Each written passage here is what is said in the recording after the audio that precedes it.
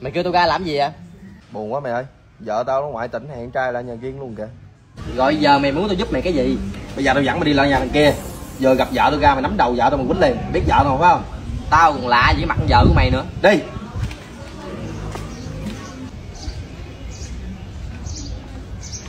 Hai Cái gì ông nội?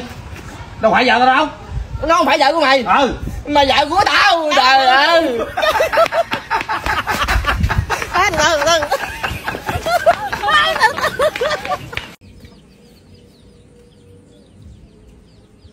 Ba bị mẹ đánh có sao không?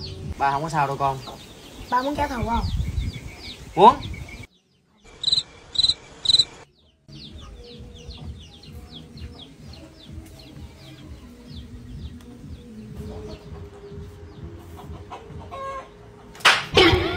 Em sao vậy? Mộng Du, không sao đâu, có ăn ở đây nè, không sao. Nãy giờ tao đâu có ngủ. Ai út đi mà? Ây da Ây da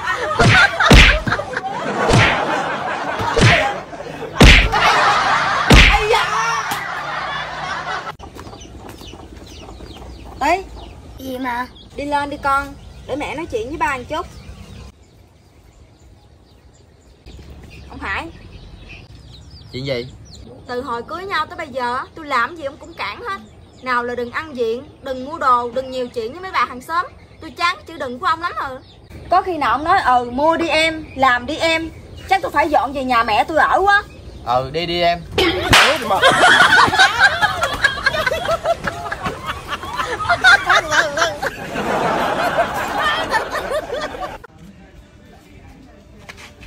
kêu tôi ra làm gì vậy? Buồn quá mày ơi Vợ tao nó ngoại tỉnh hẹn trai lại nhà riêng luôn kìa. Rồi giờ mày muốn tôi giúp mày cái gì? Bây giờ tao dẫn mày đi lại nhà thằng kia. Giờ gặp vợ tôi ra mày nắm đầu vợ tao mày quýnh liền. Biết vợ tao phải không? Tao còn lạ gì với mặt vợ của mày nữa. Đi.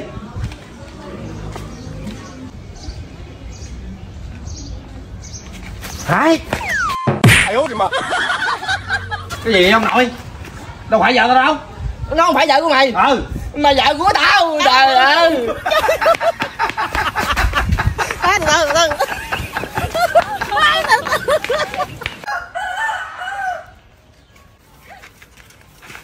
Nhà cửa tan nát không đủ sao đi hoài vậy? Em thấy trong người không được khỏe Nên ông anh ông dẫn lại cái tủ thuốc của ổng hút thuốc uống. Cái này em không nói anh cũng biết nữa. Sao anh biết? Đó, nhìn kìa, ổng chỉ đóng cái tủ thuốc nữa nữa kìa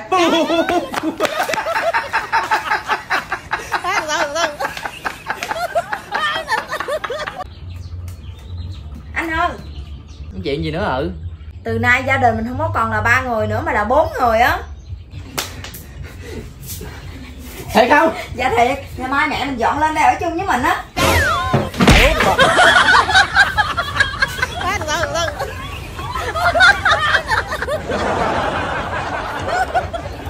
Anh Chuyện gì nữa?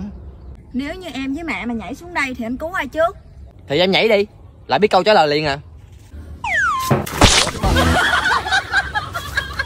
này mày bị thần kinh nè nè Mày thấy nó về là mày khỏi chết luôn á Đi về con ơi. Trời ơi Em Anh mới mua cái xe nè, đẹp không? Wow đẹp chứ vậy. Lên đi, anh chở mẹ con đi chơi. Anh ơi xe chắc không anh? Chắc chứ xe mua phải chắc rồi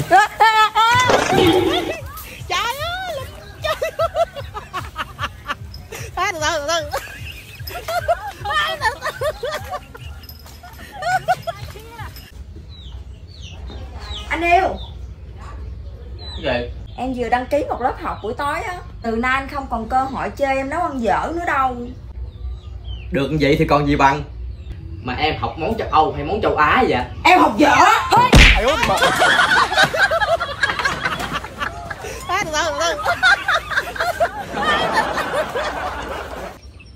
Ngoại ơi. Cái gì con? Mỗi lần ba mẹ ăn cãi nhau á là ba con đập đồ còn mẹ con làm sao? Còn mẹ con chữ á. Đúng là cha nào con nấy Trời đất ơi, tự nhiên cái tôi tỉnh lại liền luôn. Tự nhiên tôi hết hồn rồi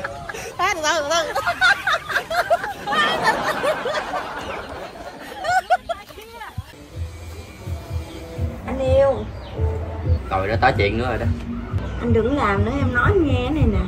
Nói cái gì nữa? Em muốn anh làm em la làng với hai ngón tay của anh. Thiệt không? Dạ thiệt. Vậy làm nha em nhắm mắt lại đi. Mày á tôi.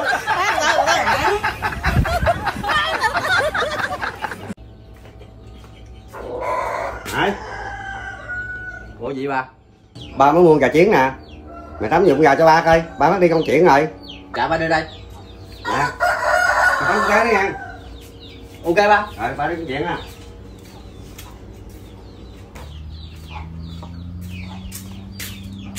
Trời ơi, Cái gì ba? Coi cái tắm con gà đó kìa.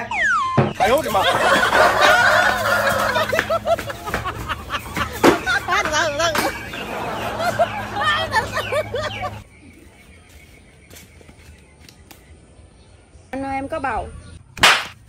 Em có bầu thiệt.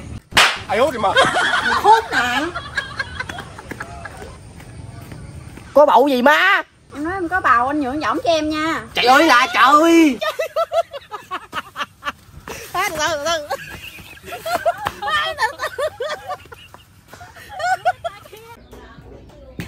Mẹ ơi. Ủa gì con?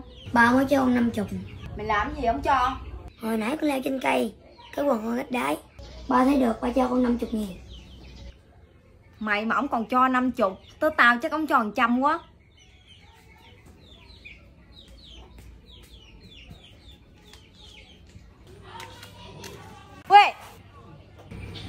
buông xuống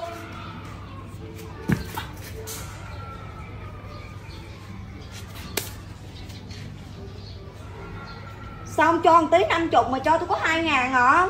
Cầm hai ngàn này nè. Đi mua lưỡng lam về cạo đi. Nhìn nớn quá.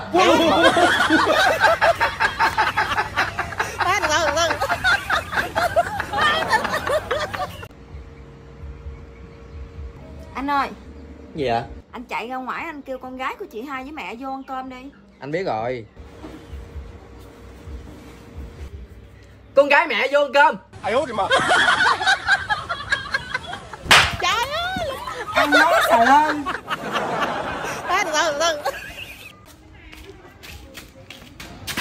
chào bà sáu đi con. Ông nội mày khỏe không? Ông nội cũng khỏe. Ông nội bà sáu khỏe không? Đừng mất dạy với ông cha con này á.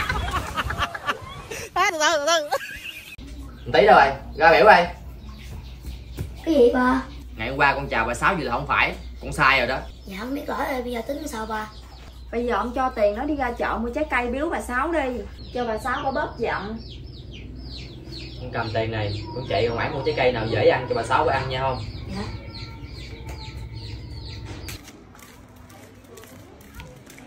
Sáu à con xin lỗi bà sáu chuyện hôm qua nha. Ba con có mua trái cây tặng bà sáu lấy thảo nè bà nội cha tao có dằn tao ta nổi